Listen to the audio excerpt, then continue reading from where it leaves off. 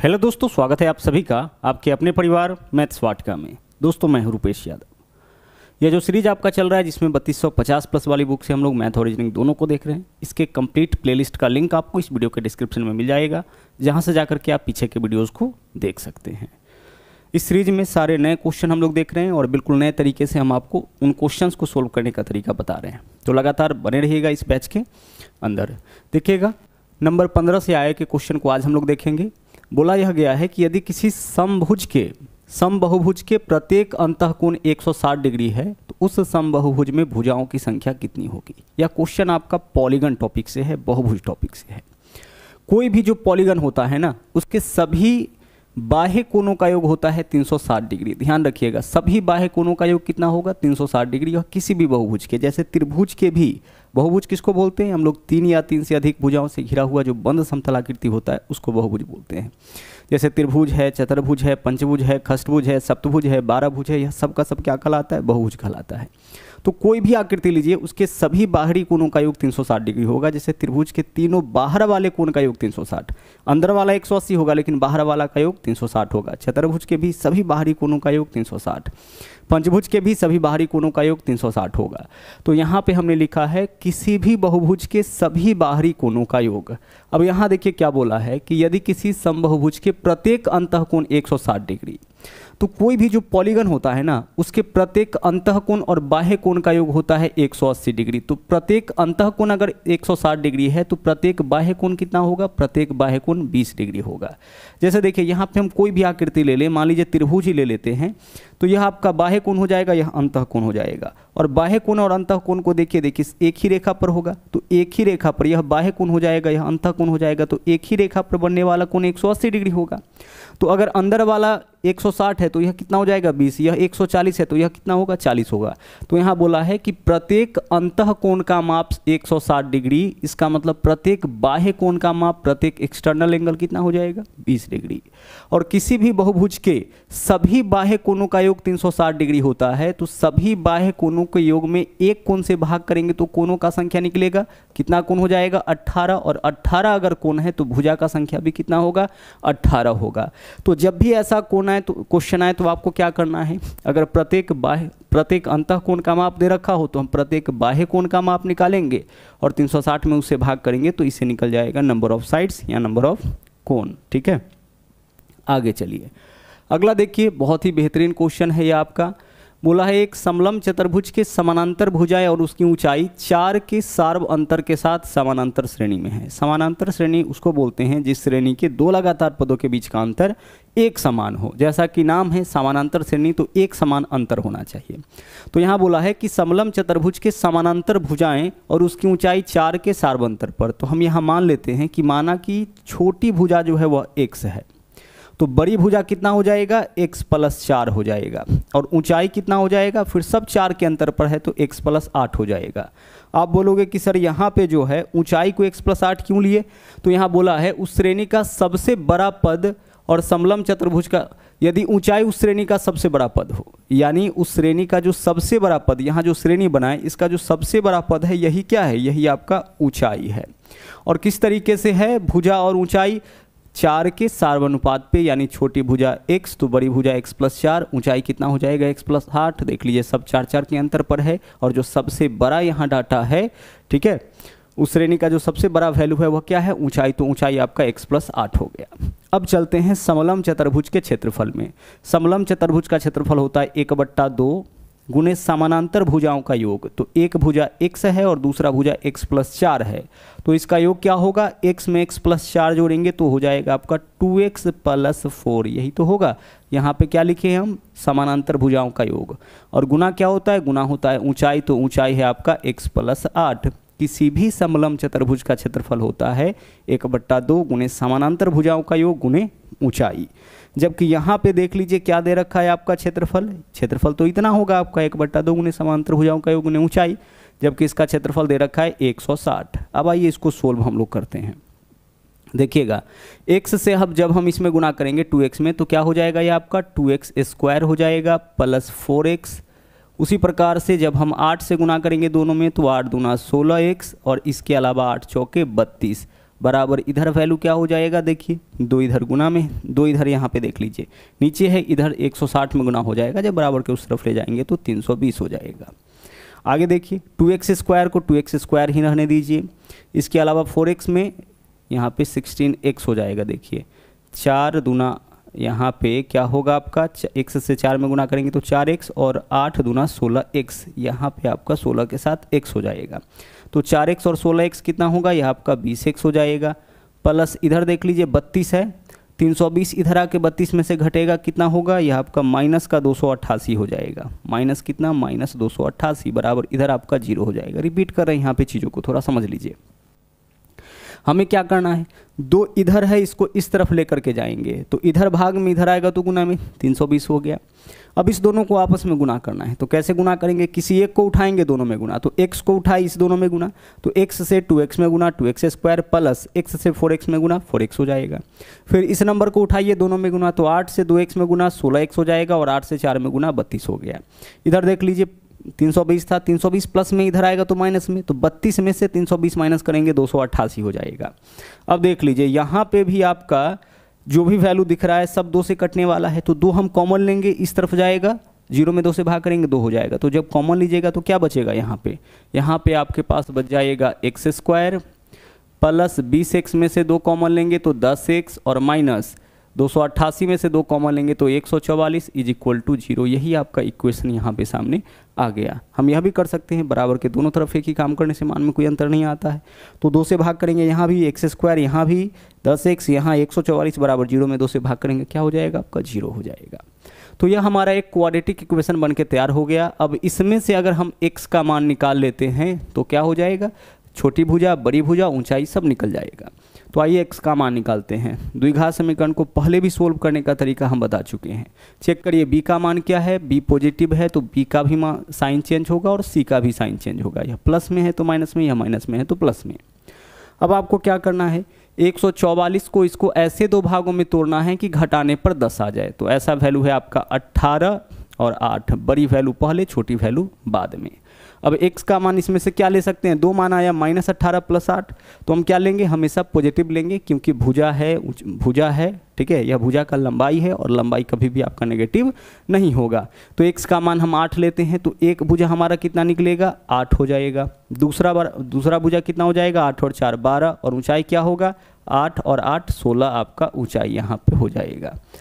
यहाँ बोला क्या है क्वेश्चन में? बोला है कि बड़ी समानांतर भुजा की लंबाई और छोटी समानांतर भुजा की लंबाई का अनुपात ज्ञात कीजिए। तो बड़ी समानांतर भुजा क्या है? बारह है और छोटी समानांतर भुजा क्या है? आठ है। इसी का अनुपात निकालना था, निकाल लीजिए दोनों वैल्यू चार से कट रहा है, काट लीजिए। चार तिया बारह, चार दूना आठ आंसर आपका क्या होगा? तीन अनुपात दो हो जाएगा। फाइनली हमें यहाँ तक पहुँचना था, लेकिन इन प्रोसेस से हमें गुजरना पड़ा, ठीक है? और इस क्वेश्चन को भी सोल्व करने के लिए हम लोग क्वाड्रेटिक इक्वेशन का प्रयोग किए हैं, और इस सेट के जो क्वेश्चन नंबर एक और दो था, वह भी आपका क्वाड्रेटिक इक्वेशन से, यानी कि कुल मिला के तीन तीन क्वेश्चन आपका इस सेट के अंदर क्वाड्रेटिक इक्वेशन से आपका पूछा गया है। यहाँ देखिए, यह बैच है हमारा जो मैथ्स वाटिका 2.0 इस एप्लीकेशन के ऊपर चल रहा है, ब्रह्मास्त्र बैच हमने इस बैच का नाम ब्रह्मास्त्र इसलिए रखा है क्योंकि सारे कॉम्पिटेटिव एग्ज़ाम के लिए आपको एक ऐसा बैच है जो हर जगह सफलता आपको दिलाएगा। यानी अलग अलग एग्ज़ाम के लिए आपको अलग अलग कोर्स परचेज करने की ज़रूरत नहीं है। एकमात्र ऐसा कोर्स है जो सभी एग्ज़ाम के लिए डिज़ाइन किया गया है। बहुत ही मेहनत से, शिद्दत से हमने इस कोर्स को डिज़ाइन किया है। वी ओ आपका बैच है और इस बैच के अंदर आपको जो मैथ फाउंडेशन बैच है उसका सब्सक्रिप्शन फ्री में मिलता है। यानी इस बैच के साथ साथ आपको एक पुराना वाला बैच भी जो तीन सौ का है, वह फ्री में मिल जाएगा। इस बैच के अंदर स्पेशली जो है हम नए क्वेश्चंस करवाए हैं, खासतौर से 2022 और 23 में जितने भी एग्ज़ाम हुए उनके क्वेश्चन को शामिल किया गया है, चैप्टर वाइज और टाइप वाइज। तो बहुत ही बेनिफिशियल आपका साबित होगा। मैथ्स वाटिका 2.0 से जाकर के आप इस बैच को परचेज कर सकते हैं। अगला देखिए क्वेश्चन क्या है। सूर्य का उन्नयन कोण 60 डिग्री से बदलकर 30 डिग्री हो जाता है। उस स्थिति में मीनार की छाया की लंबाई 40 रूट तीन मीटर वृद्धि हो जाती है तो मीनार की ऊंचाई क्या होगी? देखिए यहाँ पे क्वेश्चन क्या बोला है। थोड़ा पहले समझ लेते हैं फिर इसको बता आ, ट्रिक से भी बताते हैं। सूर्य का उन्नयन कोण 60 से 30 डिग्री। सबसे पहले यहाँ देख लीजिए सूर्य का उन्नयन कोण पहले कितना था? 60 डिग्री था। तो अभी यहाँ पे देख लीजिए यहाँ पे हम कितना बना लेंगे? 60 डिग्री बना लेंगे। और 30 डिग्री होने का मतलब और आगे जाएगा। जितना छोटा कोण होगा उतना आगे जाएगा। तो 30 डिग्री वाला कोण कहाँ पे बन रहा होगा? यहाँ पे। तो जब भी दो एंगल वाला क्वेश्चन होगा तो इसी तरह से बनाइएगा फिगर और हमेशा क्या करिएगा, छोटा एंगल बाद में, बड़ा एंगल कहाँ लिखना है? पहले। इस तरफ़ अगर आते हैं तो धीरे धीरे हम लोग नब्बे के करीब जाएँगे और दूर जाएँगे तो नब्बे से छोटा होता जाएगा। ठीक है? अब गौर से समझिएगा, इसको हम लोग एच से डिनोट करेंगे। यह क्या होगा? ऊंचाई होगा। और यह जो दोनों एंगल वाला पॉइंट है, इसके बीच का जो दूरी होता है, इसको हम लोग डी से डिनोट करते हैं। इसको किस से डिनोट करेंगे? इसको हम लोग डी से डिनोट करेंगे। बोला क्या है? कि भूतल में स्थित किसी मीनार की छाया की लंबाई 40 रूट तीन मीटर वृद्धि हो जाती है। देखिए, छाया किसको बोलेंगे? यह हो गया ऊंचाई और हमेशा यह आपका छाया होगा। यह हो गया मीनार का ऊंचाई और यह क्या है? अभी इसका छाया है। और छाया की लंबाई में कितना का वृद्धि हुआ है? यही वृद्धि हुआ है। तो इसी को हम लोग डी से डिनोट करेंगे। पहले छाया इतना बनता था, अब छाया आपका इतना बन रहा है। किसी भी वस्तु का छाया हमेशा क्या होता है? उसे सटा हुआ ऐसे बनता है। अब हमें इस क्वेश्चन में क्या बताना है? हमें यह बताना है इस क्वेश्चन में कि मीनार की ऊंचाई क्या होगी एच का मान क्या होगा? तो जब भी ऐसा दो एंगल वाला क्वेश्चन होता है तो हम लोग एक फॉर्मूला यहाँ पे यूज़ करते हैं डी बराबर H into cot theta one दो एंगल है तो cot theta one minus cot theta two और हमेशा ध्यान रखिएगा कि थीटा वन के जगह छोटा वाला थीटा आप रखिएगा। तो डी का मान तो इस क्वेश्चन में दे रखा है, छाया की लंबाई कितना बढ़ जाता है? चालीस रूट तीन। तो डी के जगह पे हम लिखेंगे चालीस रूट तीन बराबर एच तो एच का मान तो हमें निकालना है कॉट थीटा वन तो पहले कॉट तीस तो कॉट तीस का मान कितना हो जाएगा? Root three minus cot theta two यानी कॉट साठ कॉट साठ का मान कितना हो जाएगा? One by root three calculation करिए, यहाँ पे देखिए चालीस रूट तीन है, इसको अपने जगह पे रहने दीजिए, बराबर एच और इसको कैलकुलेट करिए रूट थ्री से रूट थ्री में गुना तीन तीन में से एक माइनस करेंगे दो दो बट्टा रूट तीन हो जाएगा। सोल्व करके एच का मान निकाल लीजिए रूट थ्री से रूट थ्री में गुना करेंगे तीन, चालीस गुना तीन, एक सौ बीस, और एक सौ बीस में दो से भाग करेंगे, कितना हो जाएगा? साठ। यही वैल्यू आपका एच का हो जाएगा। देखिए क्रॉस मल्टीप्लाई होगा तो रूट तीन से रूट तीन में गुना करेंगे, तीन हो जाएगा, तीन में चालीस से गुना एक सौ बीस, और एक सौ बीस में इस दो से भाग होगा, क्योंकि दो इधर गुना में इधर आएगा तो भाग में आप चाहे तो यहाँ पे भी काट सकते दो से काटिएगा, चालीस को कितना बार में? बीस बार में। बीस रूट तीन में रूट तीन से गुना कितना होगा? रूट तीन में रूट तीन से तीन, बीस गुना तीन, साठ हो जाएगा। तो यह तरीका है ऐसे क्वेश्चन को सोल्व करने का। डी के जगह हमेशा यह वाला जो डिस्टेंस होगा, उसको आप रखिएगा। अब जनरली ऐसे क्वेश्चन में क्या करता है कि एंगल 60 और 30 ही देता है। तो अगर एंगल 60 और 30 दे तो उस समय आप लिखिएगा डी बराबर यानी कि 40 रूट तीन बराबर, यही तो है H into two by root three क्या लिखना है आपको? H into two by root three solve कर लीजिए, दो से काटिएगा, क्या होगा? बीस हो जाएगा। क्रॉस मल्टीप्लाई रूट तीन से तीन में रूट तीन में गुना तीन। तीन में बीस से गुना करेंगे साठ, यही वैल्यू किसका हो जाएगा? एच का हो जाएगा। तो अभी आपसे एच पूछा गया है, आपसे डी का मान भी पूछा जा सकता है। तो दोनों को हम लोग इसी मेथड से बनाएँगे। अगर एंगल अलग है तो फिर इसका उपयोग करिएगा। और अगर एंगल साठ और तीस है, तब तो डायरेक्ट एच गुना टू बाई रूट थ्री आप कर लीजिएगा। ठीक है? बढ़ते हैं अगले क्वेश्चन में। यहाँ देखिए, सरल करें। यह बहुत ही सिंपल सा क्वेश्चन है, लेकिन इसको सोल्व करने में हम लोग अपना समय बर्बाद नहीं करेंगे। देखिए। माइनस है यहाँ। तो सबका चिन्ह बदलेगा तो माइनस माइनस तीन, यानी प्लस तीन वाला आंसर होगा। तो हमारा आंसर विकल्प बी नहीं हो सकता है और विकल्प सी नहीं हो सकता है। क्यों नहीं होगा यह दोनों ऑप्शन? क्योंकि देखिए, यहाँ से हम लोग पकड़े माइनस माइनस तीन तो प्लस तीन होगा ना। जो लास्ट अंक है उससे पकड़े तो माइनस माइनस, यानी प्लस तीन तो प्लस तीन वाला ऑप्शन हमारा आंसर होगा। विकल्प बी और सी नहीं हो सकता है। आगे चलिए और किसी को ट्राई करते हैं। यहाँ देखिए एक्स स्क्वायर वाला को ट्राई करते हैं। बाकी तो सेम है, यहाँ चिन्ह देख लीजिए। यहाँ पे चिन्ह क्या है? विकल्प ए में और बी में। Five X Q five X Q दोनों तो सेम है तो इससे नहीं काम चलेगा। इससे देखिए, यहाँ माइनस है, यहाँ प्लस है। दोनों में से कोई एक माइनस में, एक प्लस में है। इसको चेक कर लेते हैं। तो देखिए छः से माइनस दो एक्स स्क्वायर में गुना तो माइनस बारह एक्स स्क्वायर वाला आंसर होगा। यानी विकल्प ए हो जाएगा, विकल्प डी हमारा आंसर नहीं होगा। यहाँ बारह एक्स स्क्वायर प्लस में है, जबकि हमारे आंसर में बारह एक्स स्क्वायर किसमें आया? माइनस में आया। तो डायरेक्ट यह अप्रोच है, जो कुछ चीज़ों को ध्यान रख करके, रख के अपने क्वेश्चन का आंसर निकाल सकते हैं। नहीं तो फिर बेसिक से पूरे को कैलकुलेशन करना पड़ेगा।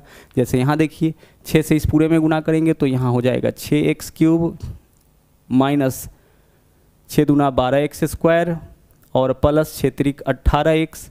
उसी तरह से माइनस है तो सबका चिन्ह बदलेगा तो minus X cube minus two X और minus minus plus plus three हो जाएगा।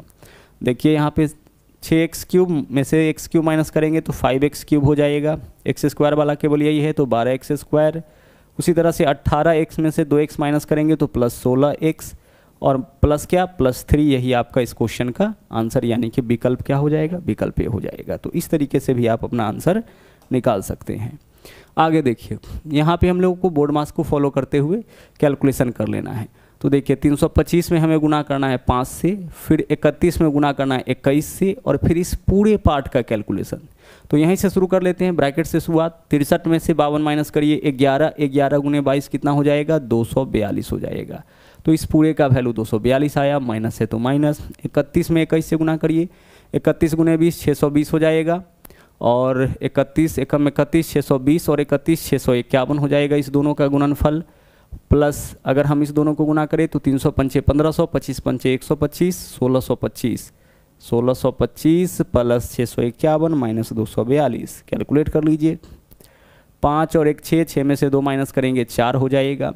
दो और पाँच सात सात में से चार माइनस करेंगे, तीन हो जाएगा सोलह छः बाईस बाईस में से दो माइनस करेंगे, बीस, यानी बीस सौ चौंतीस, विकल्प बी जो है, वो आपका यहाँ पे सही आंसर हो जाएगा। सिंपल सा बॉर्ड मास का आपका आप यह क्वेश्चन था।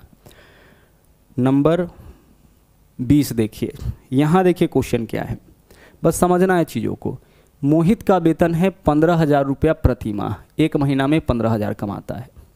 वह घर के किराए पर पाँच हज़ार और बिलों पर दो हज़ार खर्च करता है।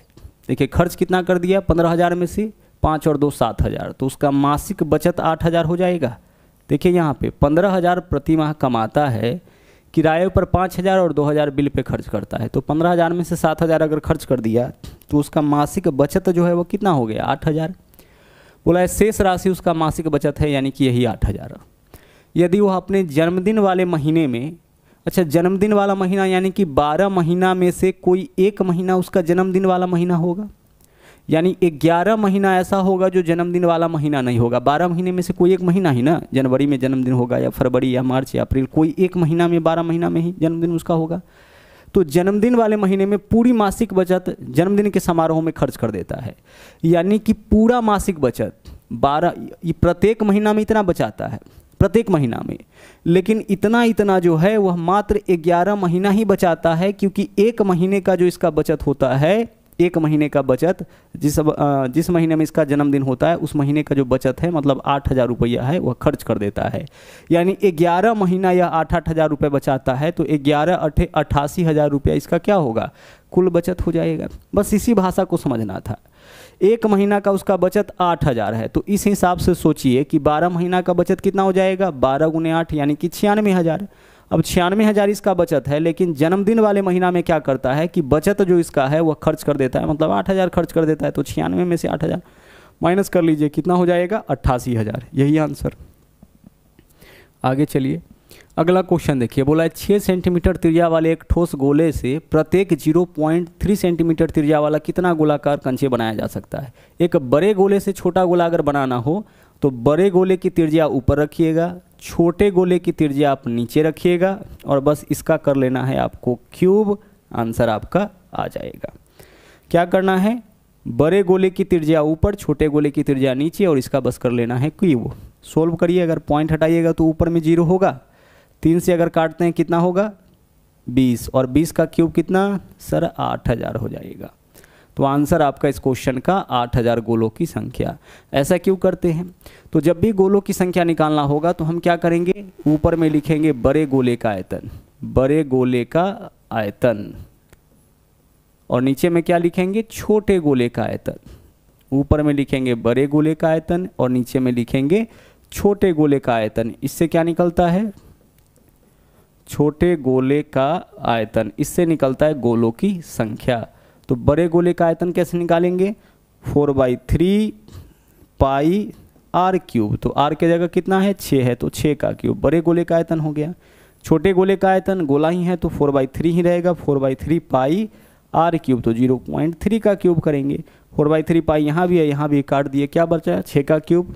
बट्टा ज़ीरो पॉइंट थ्री का क्यूब। तो दोनों का क्यूब है तो इसको एक साथ ले लिए छः बट्टा ज़ीरो पॉइंट थ्री का होल क्यूब कर लिए। तो जब भी गोलों की संख्या निकालना होगा तो क्या करिएगा? बड़े गोले का त्रिज्या ऊपर, छोटे गोले का त्रिज्या नीचे, और इसका क्यूब आपको कर लेना है। गोलों की संख्या निकल जाएगा। आगे चलिए। बोला साढ़े बारह प्रतिशत वार्षिक साधारण ब्याज के दर से निवेशित एक राशि पर दो वर्ष के बाद प्राप्त मिश्रधन कितना है? बिरासी सौ पचास है। तो ब्याज ज्ञात कीजिए। देखिए रेट है साढ़े बारह परसेंट टाइम है दो साल। तो साढ़े बारह परसेंट वार्षिक दर से दो साल का ब्याज कितना हो जाएगा? पच्चीस प्रतिशत। यह बात समझ पा रहे होंगे। रेट गुना टाइम तो एक साल में साढ़े बारह परसेंट ब्याज लगता है तो दो साल में साढ़े बारह गुने दो, पच्चीस। तो पच्चीस प्रतिशत अगर ब्याज है तो मिश्रधन कितना हो जाएगा? एक सौ पच्चीस प्रतिशत। मिश्रधन का मतलब मूलधन प्लस ब्याज, और मूलधन अपने आप में सौ परसेंट होता है। तो अगर ब्याज पच्चीस प्रतिशत है तो मिश्रधन कितना? 125 प्रतिशत। अगर ब्याज 10 प्रतिशत है तो मिश्रधन 110 परसेंट। अगर ब्याज 40 परसेंट है तो मिश्रधन 140 परसेंट। यहाँ दिया क्या है? मिश्रधन बेरासी सौ पचास। मिश्रधन बेरासी सौ पचास तो यहाँ देखिए तो मिश्रधन आपका परसेंटेज में कितना है? 125 यानी बेरासी सौ पचास, एक सौ पच्चीस परसेंट का मान है। 125 से भाग करिएगा, एक परसेंट का मान। हमें बताना है साधारण ब्याज यानी 25 परसेंट का मान क्या होगा? तो 25 से गुना हमेशा क्या करना होता है, जिसका मान देगा उससे करना है भाग, जिसका मान पूछेगा उससे गुना। पच्चीस से काटिए, पच्चीस पंचे एक सौ पच्चीस, पाँच से काटिए, सोलह पंचे अस्सी। यहाँ पे क्या बच जाएगा आपका? पाँच से काटिएगा। पाँच एकम पाँच पाँच छः के तीन, पंचे पच्चीस, सोलह सौ पचास रुपये यही आपका आंसर हो जाएगा। ठीक है? हमें क्या पता था इस क्वेश्चन में? एक सौ पच्चीस प्रतिशत का मान। निकालना क्या था? पच्चीस परसेंट का मान। जिसका मान दिया है उससे भाग, जिसका मान पूछा है उससे गुना। यहाँ देखिए, हमें क्या बताना है? माधिका वर्ग। तो माधिका वर्ग मतलब ज़ीरो से पचास पचास से सौ सौ से एक सौ पचास, एक सौ पचास से दो सौ। इसी फॉर्म में हमारा आंसर होगा। माधिका वर्ग जब भी निकालना होगा, ठीक है, जब बारंबारता श्रेणी इस तरह से दिया जाए, माधिका वर्ग अगर निकालना होगा तो आंसर इसी में से कोई ना कोई होगा। देखिए, ज़ीरो से पचास, एक सौ पचास से दो सौ, इसमें से कौन सा वर्ग आंसर है, यह हमें चुनना है। क्या है तरीका? समझिएगा। इसको जोड़ते हुए पहले लिखिए, जो एफ़ का वैल्यू है। सबसे पहले यहाँ बारह रहने दीजिए। अब बारह में पंद्रह जोड़िए सत्ताईस। अब सत्ताईस में तेरह जोड़िए चालीस। अब चालीस में दस जोड़िए। कितना होगा? पचास। जो सबसे बड़ा वैल्यू आया उसको कर लीजिए आधा। तो कितना होगा? पच्चीस। सबसे बड़ा वैल्यू क्या आया लास्ट में? पचास। इसको कर लीजिए आधा। क्या आया वैल्यू पच्चीस। अब पच्चीस से बड़ी, पच्चीस के समीप का डाटा खोजिए इसमें कौन सा है? जो निकाले हैं। यही तो है। पच्चीस से बड़ा और इसके समीप का होना चाहिए। बड़ा लेकिन इसके समीप का, ठीक है? अगर मान लीजिए कि यहाँ यह वैल्यू आपका आता तीस तो फिर हम क्या लेते? तीस से बड़ा और तीस के समीप का वैल्यू चालीस लेते हैं। तो पच्चीस आया है तो पच्चीस से बड़ा और पच्चीस के समीप का वैल्यू क्या है? सत्ताईस। तो हमारा आंसर क्या हो जाएगा? हमारा आंसर हो जाएगा पचास और सौ के बीच। इसमें से आंसर चुनना है। तो पचास और सौ के बीच यानी कि विकल्प डी विकल्प डी जो है, इस क्वेश्चन का आपका सही आंसर हो जाएगा। आगे चलिए, अगला क्वेश्चन देखिए। 108 और 144 का महत्तम समावर्तक हमें ज्ञात करना है। यानी वह बड़ा से बड़ा संख्या चुनना है जो इस दोनों को पूरा पूरा काट दे। बड़ा से बड़ा संख्या, जो इस जो इस दोनों को पूरा पूरा काट दे। देखिए तो सबसे बड़ा ऑप्शन कौन सा है? छत्तीस। क्या छत्तीस इस दोनों को पूरा पूरा काटेगा? तो छत्तीस से कटने का नियम क्या कहता है? जो संख्या चार और नौ दोनों से पूरा पूरा कटे। देखिए चार से चार दोनों आठ कट जाएगा। चार के लिए अंतिम दो अंक चेक करते हैं। तो चार से कट रहा है। देखिए, चार से कट रहा है। नौ से चेक करिए, आठ और एक नौ। अंकों का योग नौ है तो नौ से भी कटेगा। चार चार, आठ और एक नौ। यानी यह जो दोनों का दोनों संख्या है, वह चार और नौ दोनों से कटता है मतलब छत्तीस से कटता है। तो इस दोनों को काटने वाली जो सबसे बड़ी संख्या होगी, वही इसका एस होगा। जब भी एस निकालना होगा, महत्तम ऑप्शन से निकालना होगा तो हम क्या करेंगे? चारों ऑप्शन में से जो सबसे बड़ा ऑप्शन होगा, उससे चेक करेंगे। अगर वह दोनों को काट दिया तो वही है अगर यह नहीं काटता दोनों को, फिर इसके बाद जो सबसे बड़ा ऑप्शन होता है उससे चेक करते। अगर यह काट दिया तो यह आंसर अगर यह भी नहीं काटता तो फिर इसके बाद जो सबसे बड़ा ऑप्शन होता उससे चेक करते। क्योंकि एस का मतलब क्या होता है? वह बड़ी से बड़ी संख्या, जो दी गई सभी संख्या को काटे। यहाँ देखिए, यहाँ क्या है? पावर नेगेटिव है। तो पावर नेगेटिव रहने पर बेस को हम उल्टा करते हैं। जैसे एक्स बट्टा वाई का पावर अगर दिया हुआ है माइनस दो तो क्या करेंगे हम इसको? बस वाई बट्टा एक्स कर लेंगे पावर माइनस से क्या हो जाएगा? प्लस हो जाएगा। बेस को उल्टा करने पर पावर माइनस से प्लस हो जाता है। तो हम यहाँ पे लिख सकते हैं, एक बट्टा तीन है ना? तो तीन बट्टा एक यानी कि तीन। और तीन का पावर कितना? प्लस तीन। प्लस उसी प्रकार से एक बट्टा पाँच है तो हम क्या लिख सकते हैं? पाँच बट्टा एक यानी कि पाँच। पावर माइनस चार है प्लस चार हो जाएगा। एक बट्टा पंद्रह का पावर माइनस दो यानी पंद्रह बट्टा एक। कहने का मतलब पंद्रह। पंद्रह का पावर क्या लिखेंगे? दो। जैसे ही बेस को उल्टा करिएगा पावर नेगेटिव से पॉजिटिव हो जाएगा।